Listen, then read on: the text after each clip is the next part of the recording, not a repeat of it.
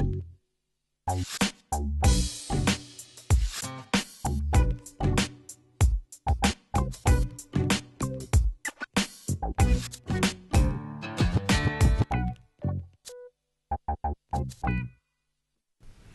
und herzlich willkommen zu einer neuen Ausgabe von Olga TV. Wie ihr seht, ist die Fabienne nochmal da, hat alles gut überstanden.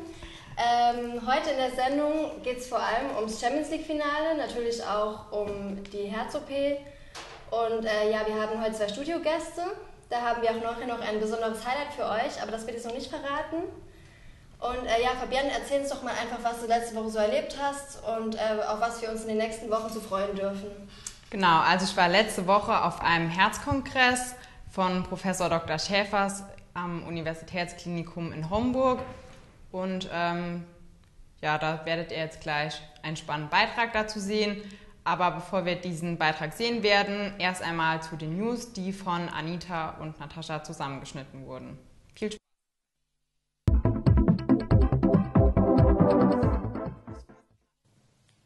Hallo und herzlich willkommen zu den News.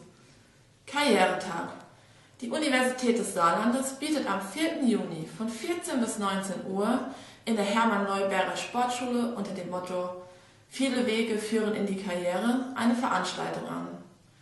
Um Anmeldung wird gebeten. You can do IT.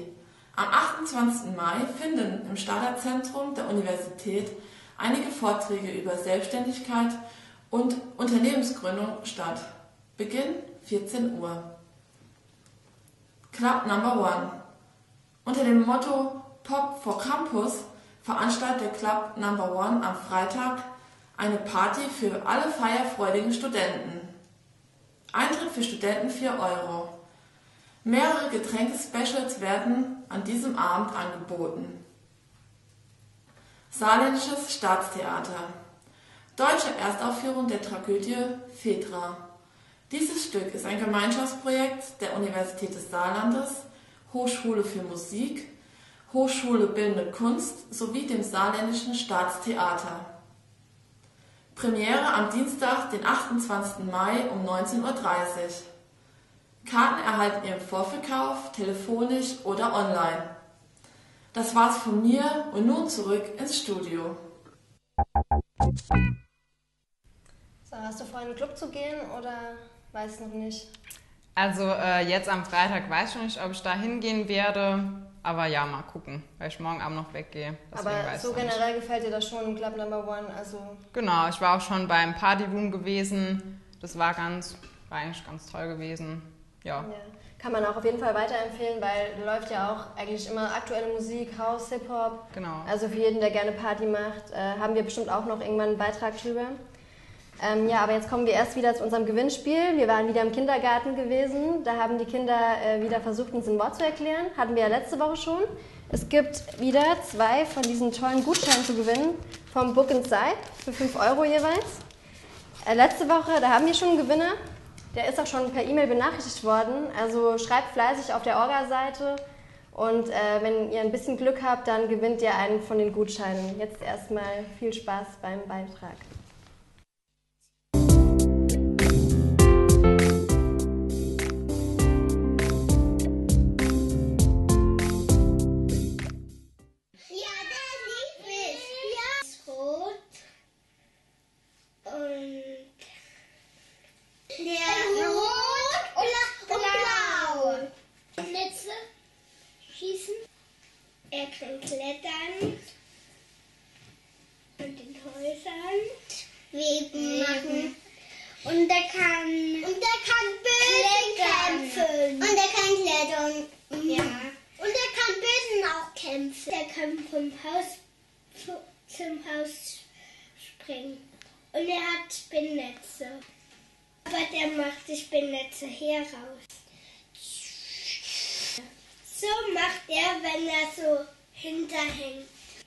So behält.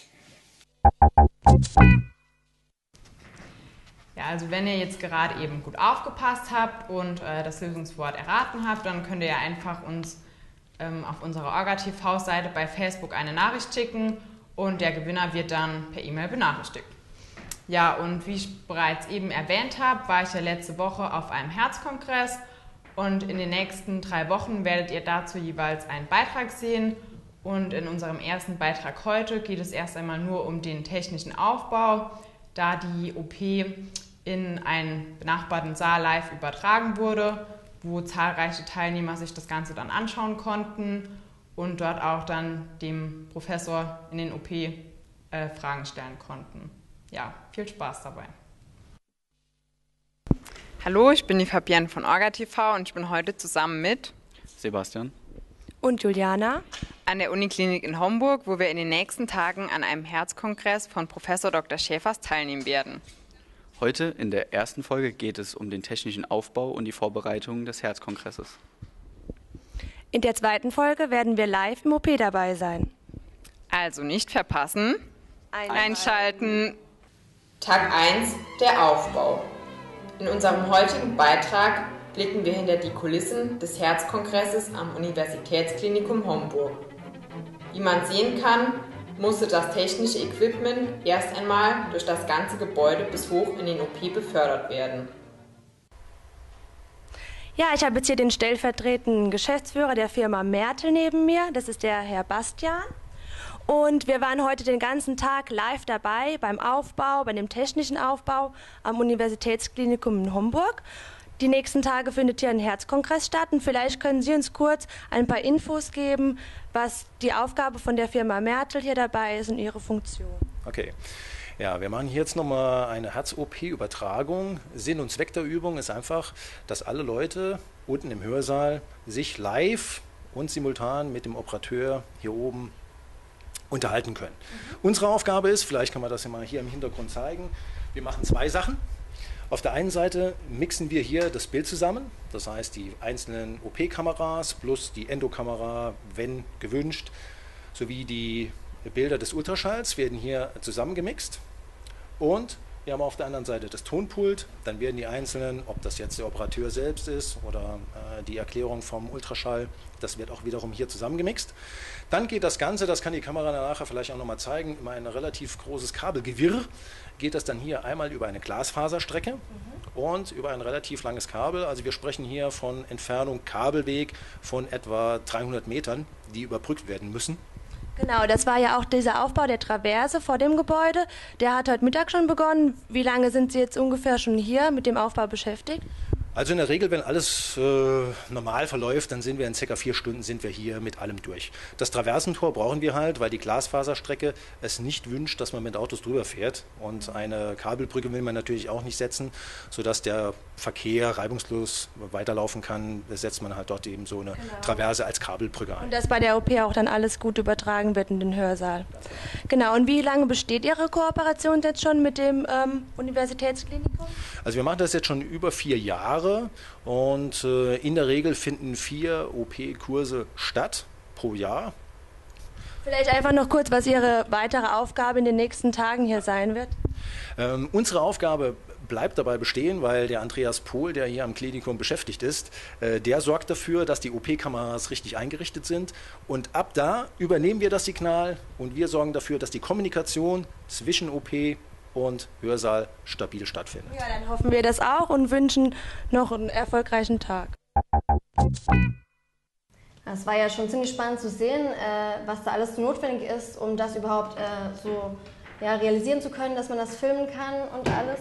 Aber was mich jetzt noch interessieren würde, wie war das dann generell? Ihr wart ja zwei Tage im Uniklinikum in Homburg gewesen. Und ähm, ja, was hast du da generell so noch erlebt? Also du warst ja bei der OP live dabei. War das irgendwie komisch für dich oder? Genau, also ähm, wir waren zwei Tage dort gewesen und am ersten Tag hat zuerst mal der technische Aufbau stattgefunden und danach konnten wir auch noch bei einer OP live dabei sein. Was ich im ersten Moment fand, ist etwas komisch zu sehen, weil also ich hatte sowas noch nie zuvor gesehen live. Und dann ist halt so der Brustkorb quasi vom Patienten aufgesägt worden. Aber dir ist jetzt nicht irgendwie schlecht dabei geworden? Nee, so, das, weil das ist ja das schon nicht. komisch, wenn man das mal äh, richtig sieht. Ich meine, im Fernsehen sieht man es ja auch öfters mal von Horrorfilmen oder so, kennt man das ja auch. Aber ähm, wenn man das mal so live sieht, also das Nee, also es war okay gewesen. Ich fand es ja. zwar etwas ekelhaft, als ich, das, als ich jetzt so quasi das offene Herz zum ja. ersten Mal so gesehen habe. Aber ähm, ich meine, es war okay gewesen, also mir ist er jetzt auch nicht schlecht geworden. Ich fand es eher eigentlich total spannend auch. Und ähm, ja, doch, das hat mir echt, hat mir eigentlich ganz gut gefallen. Ja, und am zweiten Tag fanden auch ähm, fanden dann insgesamt fünf OPs statt, die alle der Professor Dr. Schäfers durchgeführt hat. Und ähm, da fand eine Aortenklappenrekonstruktion statt. Aber ich will jetzt hier nicht zu viel verraten. Ja, das sehen wir dann nächste Woche. Genau, ja, das seht ihr dann nächste Woche. Okay. Und äh, hast du dir eigentlich die, die Sendung von letzter Woche angeschaut? Hast du mal gesehen, wie der Philipp dich vertreten hat? Ja. Fandst du das soweit in Ordnung? Also ich fand, dass er das äh, sehr gut gemacht hat, hat mich gut vertreten. Ja, Ja. doch, hat mir gut gefallen. Okay. Äh, so, und in unserem nächsten Beitrag geht es um Islandpferde. Da waren wir auf einem Tu- Turnier gewesen. Und äh, ja, Fabian, äh, reitest du auch oder ähm, interessierst du dich für Pferde im Allgemeinen? Interessiert dich der nächste Beitrag jetzt oder ist das gar nicht so dein Ding? Ja, also ich war auch mal äh, fünf Jahre lang in einem Reitverein gewesen. Wo warst du da, wenn ich frage? Das war äh, in Wiebenheim, ich weiß nicht, ob dir das Okay. was sagt. So. Ja, bei Blieskastel ist Genau, das. ja. genau. Und äh, ja, aber das habe ich dann irgendwann habe ich damit aufgehört, weil ich Warum? auch nicht mehr so. Zeitgründen? Genau, ich hatte nicht Ja. mehr so die Zeit dafür. Ich hatte auch noch andere Hobbys.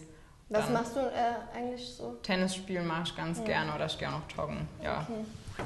Ja, und ähm, in dem Beitrag am Anfang seht ihr auch noch mein Pferd. Äh, ist auch ein Islandpferd. Auf dem Hof stehen generell nur Islandpferde.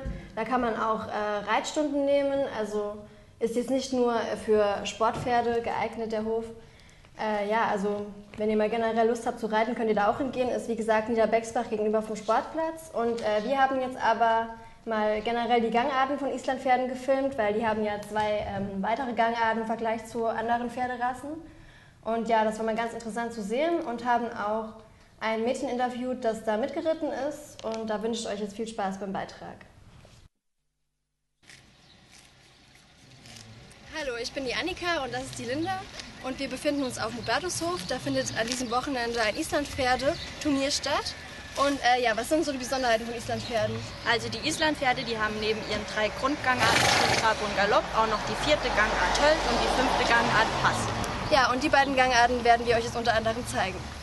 Schön, dass ihr alle da seid, hier zum Aufmarsch aller Teilnehmer. Immer ein schönes Bild, wenn hier Reiter und Pferde in der Bahn sind, hier vom Rexhof vertreten, dann vom Bonnerzeuger Hof.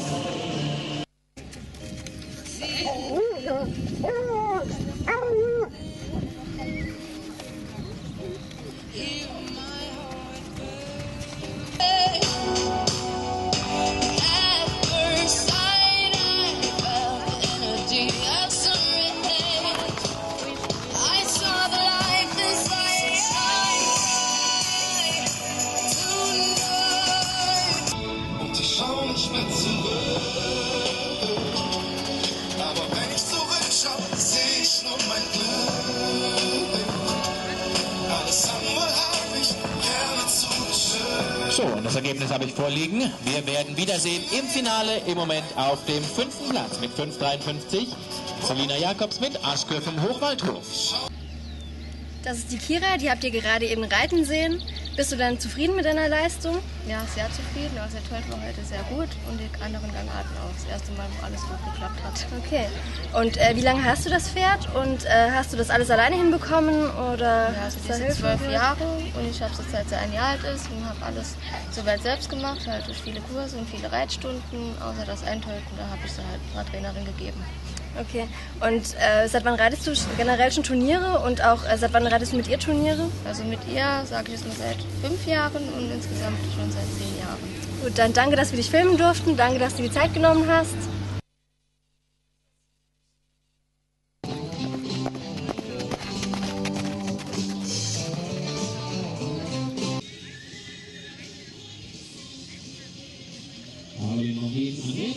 Und Winter können Sie bitte bereithalten.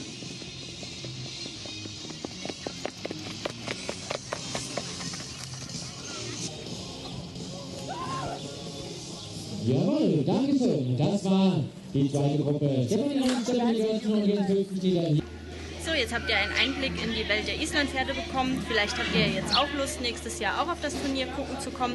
Der Hubertushof befindet sich in Niederbecksbach gegenüber vom Sportplatz. Tschüss. Nika, wir haben dich ja gerade eben jetzt im Beitrag gesehen. Hast du denn schon äh, an irgendwelchen Turnieren teilgenommen oder warst du jetzt auch an dem Turnier, hast du da teilgenommen? Ja, also in dem Turnier habe ich jetzt einen Mitternachtszelt mitgeritten. Der findet immer samstags abends um 10 statt. Da verkleidet man sich immer, ist eigentlich eher ähm, ja, ein bisschen auf witzig gemacht. Ähm, der, da gibt es einen Preis fürs Kostüm und äh, für einen Tölt eben. Wer am schnellsten töltet. Und, äh, Wir haben, was? Wir haben, also der Tölt, das haben wir ja gerade im Video gesehen, das ist die eine Gangart, die so, eben okay, äh, ja. die Isländer äh, mehr haben im Vergleich zu äh, anderen Pferderassen. Ja, äh, da bin ich mitgeritten, das war auch ziemlich witzig. Da sind äh, insgesamt sechs Leute von dem Hubertushof mitgeritten, als Schlumpf verkleidet. Haben wir jetzt leider nicht gefilmt, aber ähm, ja, könnte man sich ja auch mal noch überlegen. Das war eigentlich ganz lustig gewesen. Und generell, also früher bin ich öfters Turniere mitgeritten, aber in letzter Zeit ist nicht mehr so auch, ähm, weil da muss man ja das Pferd immer gut trainieren, Genau. wegen der Zeit und so. Das äh, nimmt schon ziemlich viel Zeit in Anspruch, aber macht Spaß eigentlich. Ja. Und äh, du bist du mal in der Zeit, in der du geritten bist, Turniere geritten oder gar nicht? Ja, doch, also ich habe auch an Turnieren teilgenommen, aber das war jetzt auch eher so äh, hobbymäßig. Also, ja, also eher zum Spaß, Genau. so, weil du... Ja. Okay. Gut, so und jetzt kommen wir zu unseren Studiogästen. Philipp und Simon, dann kommt doch mal zu uns.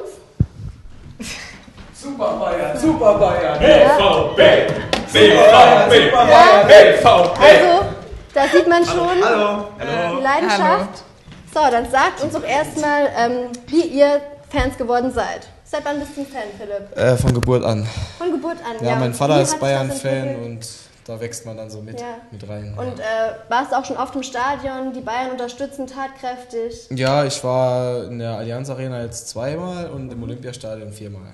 Okay, und und- in anderen Auswärtsstadien war ich auch ab und an. Also in Lautern war ich die Bayern schon gucken, in, Nürn nee, in äh, Frankfurt glaube ich und in Gladbach einmal. Und was kannst du so über die Stimmung sagen generell im Stadion? Also ist es mal ein Besuch, wert, auch für Personen, die Ja, auf jeden keine Fall. Fans sind? Also es oder? sagt, man sagt ja immer, Bayern hat keine Stimmung im Stadion. Das kann ich hier revidieren. Also die Stimmung ist in den letzten Jahren deutlich besser geworden. Das lohnt sich auf jeden Fall mal in die Allianz Arena zu kommen. So, Simon, wie war es bei dir? Seit wann bist du BVB-Fan? Also circa warum? bei zwei, ist es circa seit, seit zwei Jahren. Ich wurde halt von Freunden eher angesteckt, ja, und ähm, habe mich da eigentlich total mitreißen lassen und vor allem seit, würde ich jetzt nicht sagen, dass ich ein Erfolgsfan bin. Das hat halt einfach weil Spaß Da gemacht. beginnen schon die ersten Streitereien, Ja, aber ja, das ist natürlich ganz klar, dass die Sticheleien immer von den Bayern-Fans kommen Ach, ja. müssen. Die, die können natürlich niemanden direkt neben sich akzeptieren. Das ist halt einfach schon immer so gewesen und es wird auch immer so sein, ne, Philipp?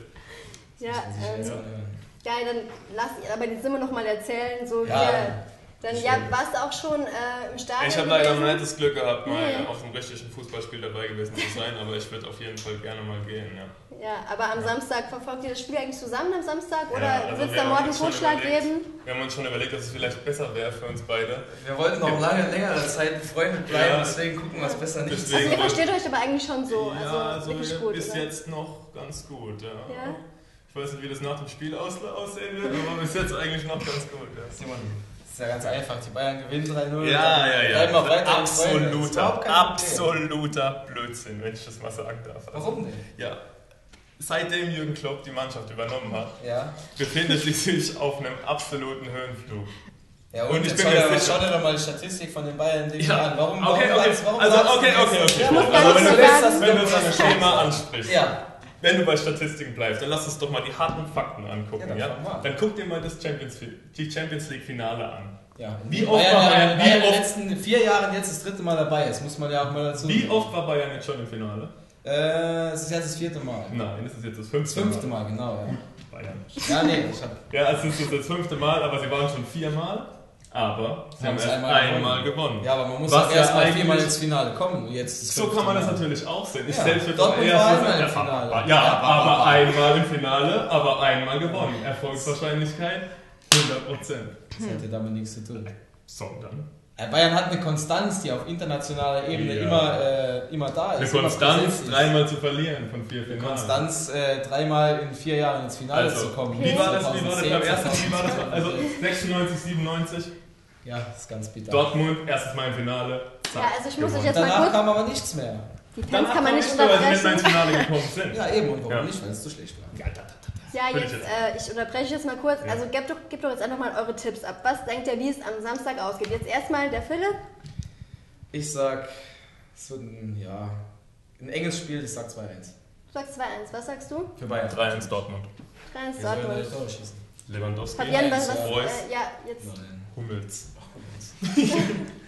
Ja, ähm, was ist denn eigentlich, äh, wer spielt denn bei Dortmund so? Da ist, war ja jetzt die ganze Zeit noch ein bisschen Diskussion gewesen. Äh, Genau, also es war ja ähm, lange in der die Frage, ob jetzt Mats Hummels überhaupt Ja. spielen soll. Da habe ich jetzt am 19.05. die Meldung gelesen, dass er im MRT war und sich der Außenbandriss Gott sei Dank nicht bestätigt hat und dass er also die Abwehr von Dortmund tatkräftig unterstützen kann. Gut. Ja. Ja, und was Götze wird voraussichtlich nicht, ist ja sowieso das, so das Problemkind, sage ich jetzt mal, weil er halt zu Bayern wechselt. War, ähm, ganz kurz, was hältst du eigentlich davon, ähm, wie das alles so passiert ist mit Götze? Äh, Ja, ganz ehrlich, also ich glaube da ehrlich gesagt so als Fan nicht, sondern ich glaube, das ist alles eher so ähm, ein taktisches Zurückhalten auch vom Götze.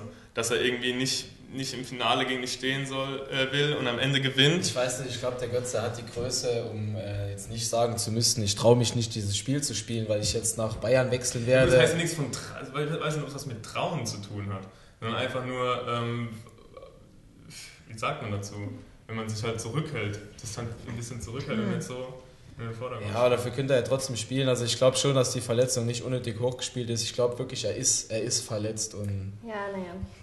Äh, was, was glaubst du eigentlich, wie das Spiel ausgeht? Also mein Tipp ist, dass Bayern 3-0 gewinnt. Du bist, äh, Stehe ich aber auch, ganz äh, sicher auf der falschen Seite hier. Du bist auch Ja, Bayern? ihr habt euch falsch hingestellt. Ja, ja, das stimmt. Ja, also ich bin auch eher für Dortmund. Meine bayern Okay, so es ja nicht weiter. Das ist ja überhaupt kein Problem. Also du, du bist äh, Bayern-Fan, Genau. auch schon lange eigentlich, oder? Äh, was heißt lange? So seit drei oder vier Jahren bin ich Bayern-Fan, genau. Ja. Da kann man aber wenigstens nicht sagen, dass sie auf den fahrenden Zug aufgesprungen ist. Ja, bei Dortmund ist es so. Ja, kann man natürlich auch sagen. Ah ja, ich bin jetzt der Fan von der. Mannschaft, Jetzt die immer gewinnt. Nee, es hat jetzt nichts mit dir zu tun, aber ich glaube, es ist wirklich bei vielen Okay. Dortmund-Fans Aber ich, ich muss so. euch jetzt mal unterbrechen, weil äh, wir orakeln jetzt das Spiel ja ein bisschen voraus. orakeln ne? jetzt das Spiel Ja, wir spielen jetzt ein Spiel mit euch. Das bauen wir jetzt erstmal auf. Fabienne, Ja, warte. das müssen wir jetzt gerade mal aufbauen. Hast du den Ball? So, Simon, ich sag zu dir, streng dich an, weil ich will ja auch, dass die Dortmunder gewinnen. Von daher, äh, So, also Philipp, Chipkick, äh, ke- kennt ihr vielleicht? gib dein Bestes. Kannst du mal gerade das Mikrofon halten, dass ich das aufbauen kann? Ja, so, das Tor noch. So, sollen wir vielleicht kurz noch, ich glaube, die Regeln müssen wir nicht erklären, das äh, kennt, glaube ich, jeder. So, okay. So, wie, ähm, wie machen wir es denn? Sollen wir Warte, einfach bis fünf spielen oder sollen, wie wollt ihr denn spielen? Sagt, ihr kennt euch da vielleicht am besten aus. Äh, machen wir, weiß nicht, Mal Elfmeterschießen. zwei Minuten oder was und wer die meisten Tore hat, gewinnt. Okay, dann ähm, macht ihr das mal so. Okay, Anpfiff. Bayern hat natürlich Anschluss und die besseren. Ja, Philipp! das sehr War gut. unerwartet. Ja. Genau wie im Finale wird es auch unerwartet sein für euch.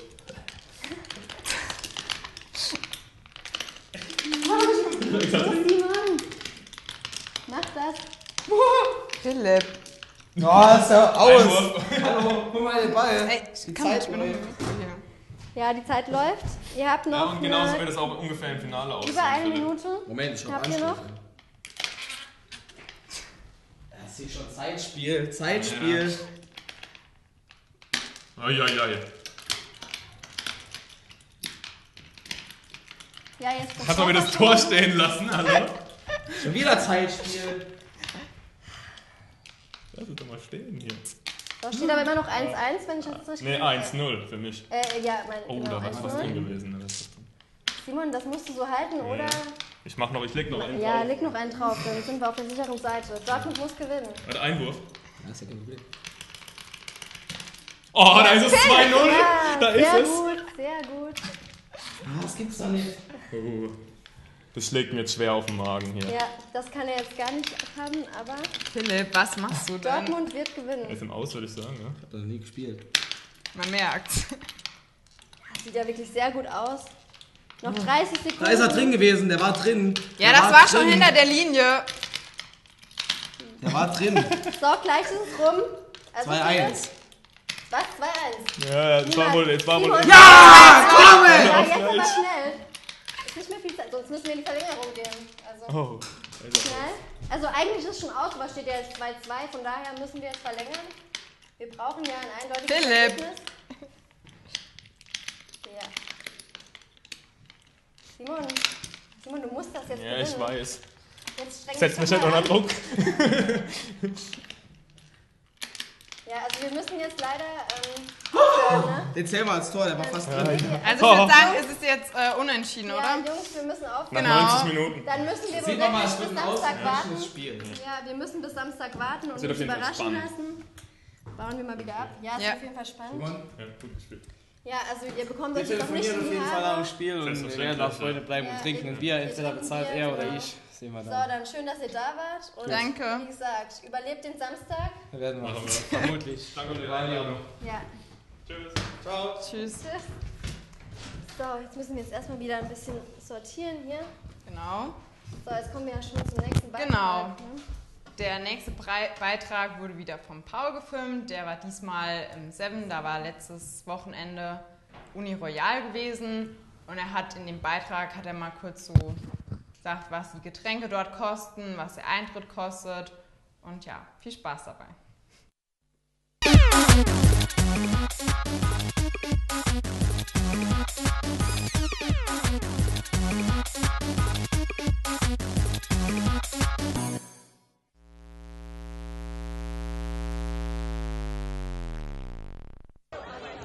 Heute läuft im Seven die Uni Royal Party, die Party für Studenten. Und wir wollen euch mal zeigen, wie es heute hier so abgeht.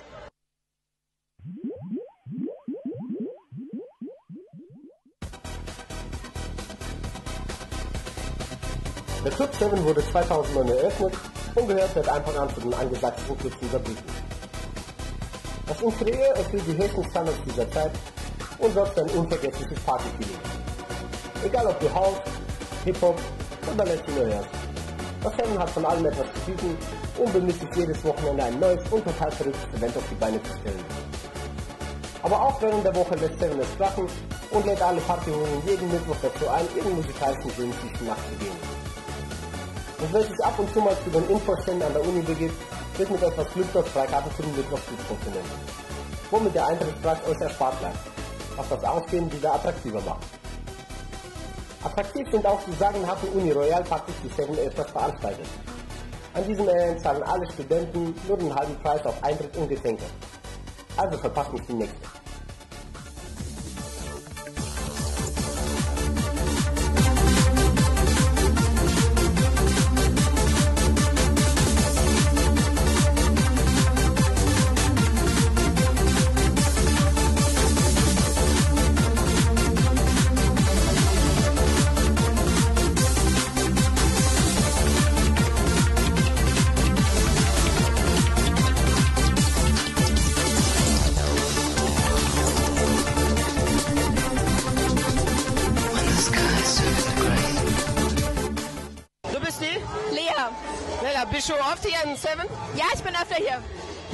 Es dir allgemein im Seven? Ist gut, es ist immer voll, es ist immer was los und die Musik ist auch meistens gut. Max, wie gefällt es dir hier im Seven generell? Oh, ich bin eigentlich ganz gern hier. Also wenn ich irgendwo hingehe, dann meistens Seven. Versuch mal den Club Seven mit äh, einem Satz zu beschreiben. Mit einem Satz. Oh, ja, Club 7 ist der richtige Ort, um Spaß zu haben und äh, ja, mit Freunden abzufeiern. Die- Leute sind in Ordnung, die Bedienungen sind okay, Musik ist auch immer in Ordnung und ja. Beschreib mal Seven mit deinen eigenen Worten. Es ist ein schöner Club, ich finde es super liebevoll gemacht, auch die ganze Deko. Getränke sind gut, es ist immer was los und die Musik passt. Immer empfehlenswert. Ja, auf jeden Fall. Äh, warst du eigentlich auch schon Seven oder? Ja, natürlich, da war ich auch schon. Und ich werde da auch morgen Abend wieder hingehen. Da ist ja die Sportlerparty, da war ich schon öfters. Ja, ist eigentlich ganz, ganz toll dort. Ja. Warst Ja, du dort ich- auch schon? Ja, ich gehe nächsten Mittwoch wahrscheinlich, das ist hier wieder ein Feiertag, donnerstags. Da ähm, werde ich hingehen, da muss man nur immer gucken, dass man äh, recht früh hingeht, weil sonst kommt man da nicht mehr rein. Da ist immer so ein großen, großer Andrang. Von Ja, daher, 12. Ähm, ja, von daher vor zwölf sollte man schon hingehen, sonst äh, hat man da keine Chance mehr. Ja, und äh, wir sind auch eigentlich schon am Schluss unserer Sendung. Äh, nächste Woche könnt ihr euch äh, auf unser Oberthema Herzenssache freuen. Äh, da werdet ihr unter anderem die Herz-OB von der, von der Fabienne sehen. Die war ja, äh, wie schon jetzt ein paar Mal erwähnt, äh, im Uniklinikum, hat das alles live gefilmt. Ähm, dann ist der Paul gerade ähm, in der Stadt unterwegs. Da findet nämlich eine Kneipentour statt. Und äh, das werdet ihr nächste Woche auch sehen. Da werdet ihr mal äh, sehen, wo man in Saarbrücken so hingehen kann und nette Leute kennenlernen kann. Ist vielleicht äh, auch ganz passend zum Thema und da könnt ihr euch drauf freuen. Da ja, Dann bis nächste Woche, immer wieder einschalten um 18.18 Uhr. Genau. Bis dann. Tschüss. Tschüss, macht's gut.